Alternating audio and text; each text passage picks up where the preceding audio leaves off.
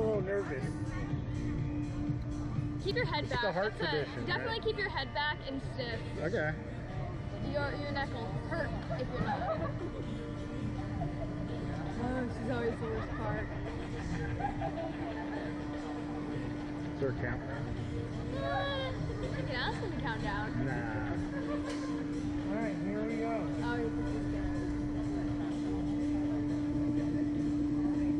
I have to look at my heart rate first timer, what do you want? A countdown or a surprise? Surprise! Oh!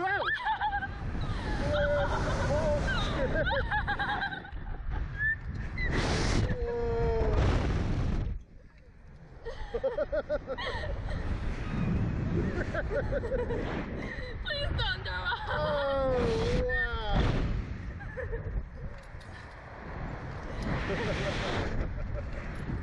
well, that wasn't any different than uh, rappelling out the towers. Oh my god. Pretty feeling, right? That wasn't bad, really. No, I always remember a lot worse, if I'm gonna be honest. I always remember being a lot more scared. I think the sky coaster is a lot more nerve wracking. It's not immediate. You sit there and you just go higher and higher. When I had to train to rescue people out of the wind turbines, we had to repel out of the 300 foot tower. And you Oh, have to like jump out, so it's kind of like that at first. It's weird, but I kind of just want like. You're all unbuckled yet. yeah. Because what happened if we just like jumped out? Imagine having to climb that thing. That would be so scary. You know, I've been more scared slipping on ice. Because you're like, oh, this is gonna fucking hurt. Yeah.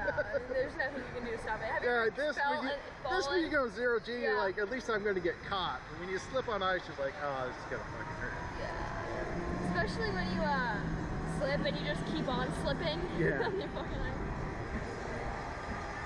I wonder if they're recording this part too. the whole conversation.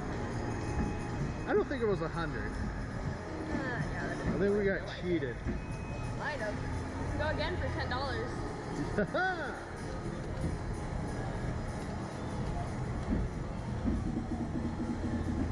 Welcome back.